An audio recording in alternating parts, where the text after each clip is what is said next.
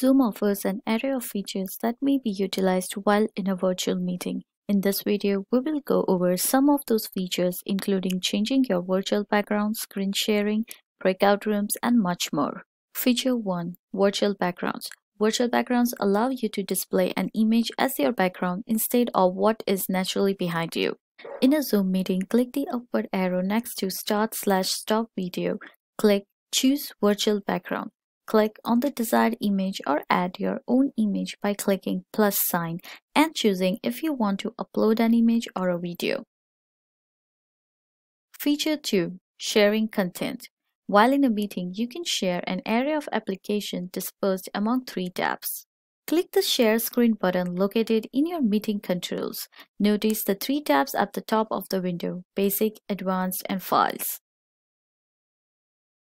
The Basic tab. Here you can share your entire desktop, specific applications, the whiteboard and iPhone slash iPad screen and more. Please note that you would share your desktop if you want the audience to see what you have open on your desktop. For example, if you are switching between sharing a Word document and a website or if you are running a PowerPoint presentation and have links to the website embedded within, this will ensure that anything you launch on your desktop will be visible to the audience. Also, if you're sharing a video, be sure to select the shared computer sound and optimize screen sharing for video clip checkboxes. If sharing an application such as Excel, have that application open and ready to share. The Advanced tab. Here you have the option of sharing a portion of your screen, music or computer sound only or the second camera. The Files tab. This gives you the option to share a OneDrive or SharePoint file. Please note that you will have to sign into those services.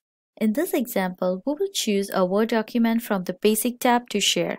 When you start sharing your screen, the meeting controls will move into the menu. Mute slash unmute. This allows you to mute or unmute your microphone.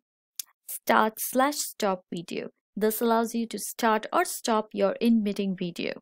New share. This allows you to start a new screen share. You will be prompted to select which screen you want to share again. Pause share. This allows you to pause your current shared screen. Annotate. This displays annotation tools for drawing, adding tags, etc. Chat. This opens the chat window. More. Hover over more for additional options. Record. This allows you to start recording locally or to the cloud. Meeting info. This shows the current meeting's ID, host, passcode, invite link, your participant ID, and encryption status.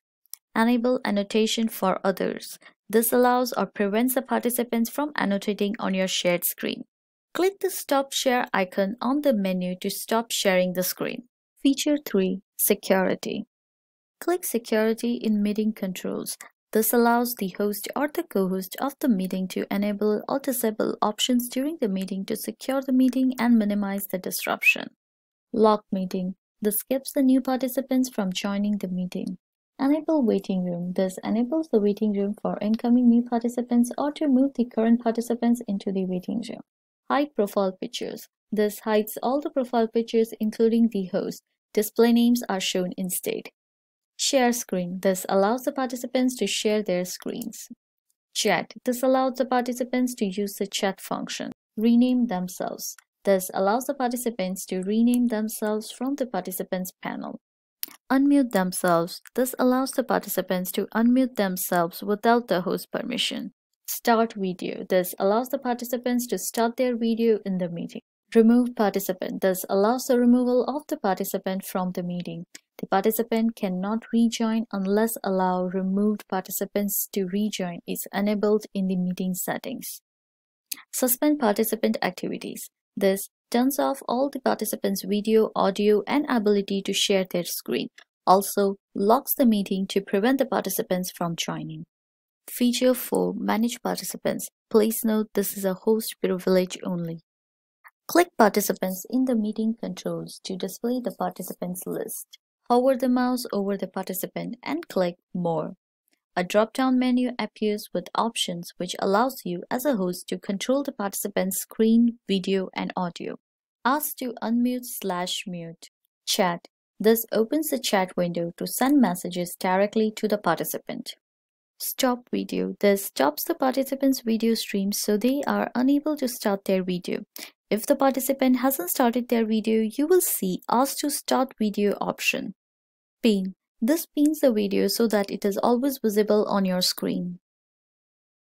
Make host. This assigns the participant to be the host. There can only be one host. Rename. This changes the participant's name that is displayed to other participants. This change only applies to the current meeting. Place note to change your own name that is displayed, hover over your name in the participants list and click Rename. You can permanently change your name in your profile. Put in waiting room. Place the participant in a virtual waiting room while you prepare for the meeting. The host must enable the waiting room for this option to appear. Remove. This dismisses the participant from the meeting. They won't be able to rejoin unless you allow the participant to rejoin.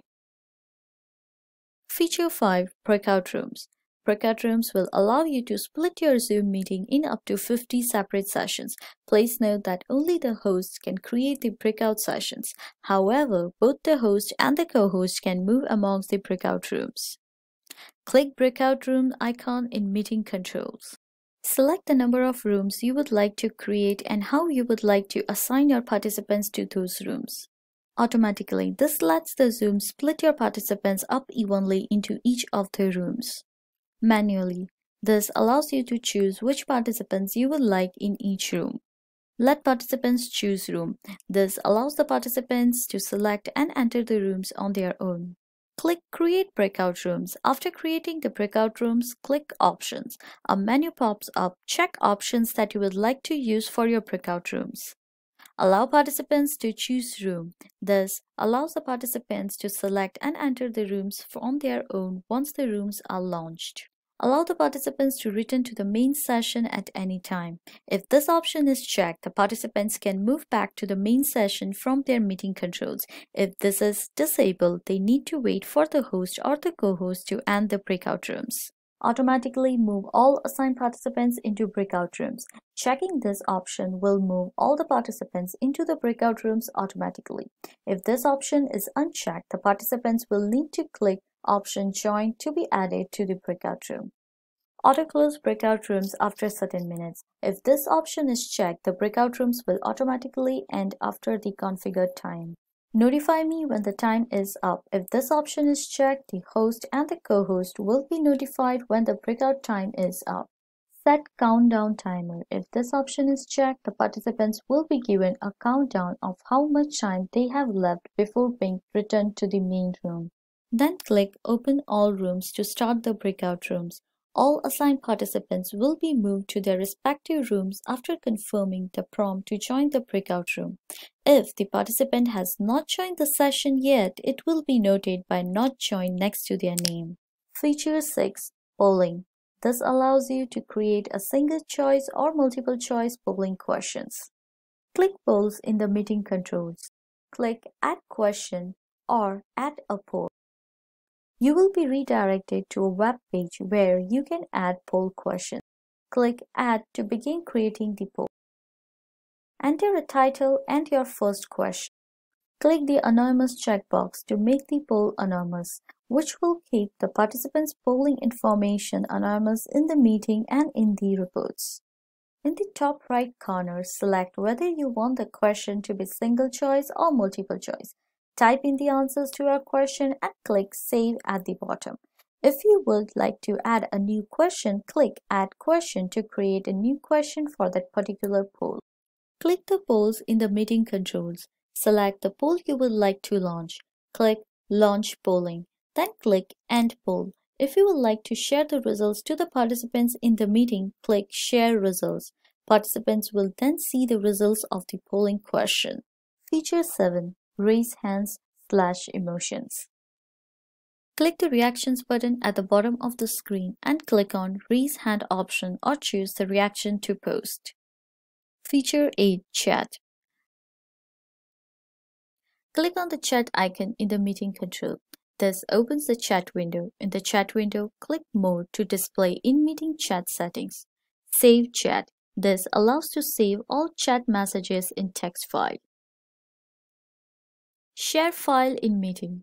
This allows to send a file in the chat. Feature 9 Record Click the record icon on the meeting control. Select Record to the cloud to begin recording. To stop recording, click Pause slash stop recording or end meeting. Once the recording has been stopped, the recording will be processed before viewing. Zoom will send an email to the host email address when the process is completed. Feature 10 Rearranging video order as host. Click and drag any participant window to the location on the screen you want to achieve your desired on-screen order. As the host, click View. Click Follow Host Video Order. This forces all the participants to display your custom video order. Participant will not be able to change the order when this is enabled. Feature 11 Spotlight In the meeting, hover over the video of the participant you want to spotlight and click three dots. From the menu, click on Add Spotlight. This allows the spotlighted participant as the primary active participant and the participants will only see the speaker. Thanks for watching. For more information, go to towson.edu forward slash Zoom.